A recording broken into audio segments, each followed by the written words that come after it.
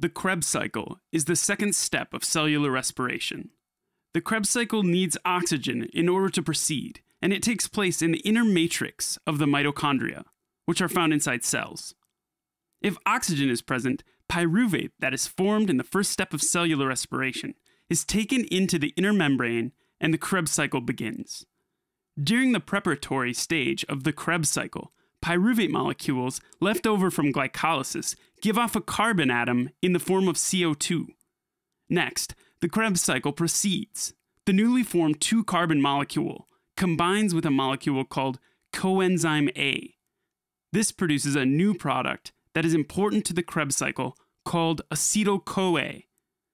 The reactions required for producing acetyl CoA store an electron in a molecule called NADH that is used later during cellular respiration. The Krebs cycle begins when a four carbon molecule is combined with CoA, forming a six carbon molecule called citric acid. Next, during a chain of reactions, two carbons are given off from citric acid in the form of CO2.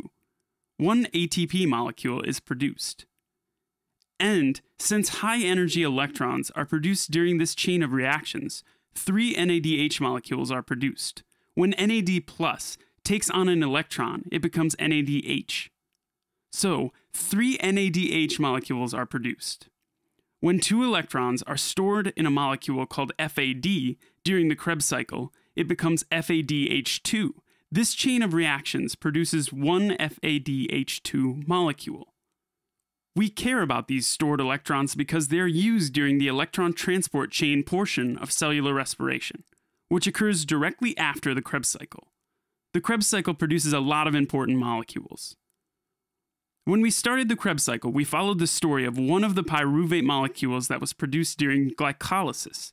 But glycolysis actually produces two pyruvate molecules, so we'll have to double the amount of products produced by the Krebs cycle in order to have an accurate estimate of how much energy cellular respiration can produce from just one glucose molecule. The grand total for the Krebs cycle comes to 2 ATP, six NADH molecules, and two FADH2 molecules. The electron storing that has taken place during glycolysis and the Krebs cycle are used in the third and final stage of cellular respiration, the electron transport chain.